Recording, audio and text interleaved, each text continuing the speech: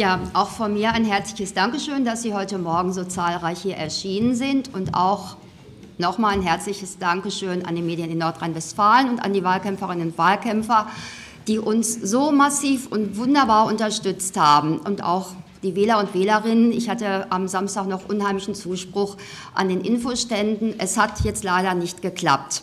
Ja, vieles ist bereits gesagt worden, aber lassen Sie mich bitte noch zwei andere Dinge anmerken. Wir haben ganz klar unser Wahlprogramm abgearbeitet. Wir haben wirklich eine Checkliste gemacht, was wird jetzt angegangen in den nächsten Zeiten an Anträgen. Genauso gut haben wir SPD und Grüne vor uns hergetrieben. Und dort in Nordrhein-Westfalen, wo Quartiere auseinanderfallen, wo die Schere zwischen Arm und Reich immer weiter auseinanderklafft, hat SPD und, haben SPD und Grüne die soziale Wohnraumförderung zusammengestrichen. Sie haben sie zusammengestrichen mit der Begründung, man brauchte sie nicht mehr.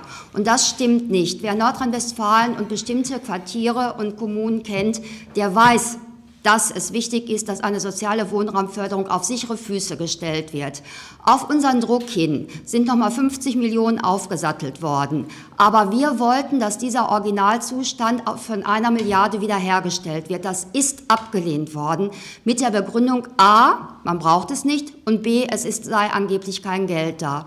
Ein weiterer Punkt ist natürlich das von uns geforderte echte Sozialticket, flächendeckend. Auch das ist uns äh, äh, nicht zugestanden worden, auch wieder mit der Begründung, es sei kein Geld da. Wir haben Berechnungen vorgelegt und nochmal zur Information. Diese Neuwahlen in Nordrhein-Westfalen kosten 45 Millionen Euro. Das Sozialticket hätte 35 Millionen Euro gekostet. Das muss den Menschen in Nordrhein-Westfalen erstmal erklärt werden, wie eine ähm, rot-grüne Minderheitsregierung ganz bewusst 10 Millionen Euro mehr in Kauf nimmt, um Neuwahlen eben zu initiieren. Das andere ist der Bildungsbereich. Sie wissen, ich bin Lehrerin und ich weiß, wie es an Schulen zugeht. Und das, was dort an dem sogenannten Schulkonsens aufgebaut worden ist. Wir sagen dazu Schulnonsens. Das ist eine erneute Schulform, die niemand braucht. Die niemand braucht. Und dort ist es auch wieder von SPD und Grünen hinbekommen worden, dass die Verantwortung in die Kommunen, die ohnehin schon so gebeutelt sind, abgeschoben worden ist. Die Kommunen müssen das Ganze jetzt wieder austragen und auch Kinder und äh, Kolleginnen und Kollegen und Eltern. Es ist keine verantwortungsvolle sogenannte präventive Politik, was Frau Kraft dort in Nordrhein-Westfalen in der letzten Zeit betrieben hat. Anfangs dachten wir, hm, es geht vielleicht in die richtige Richtung.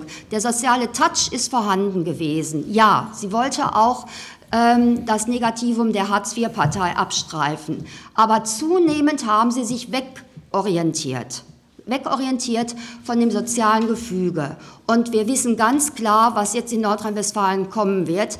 Es wird weiter gekürzt, das ist klar. Und vor allen Dingen, äh, es wird sich weiter wegentwickelt von einer sozialen Politik.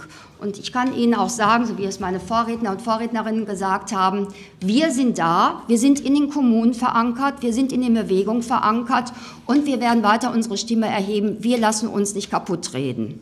Danke.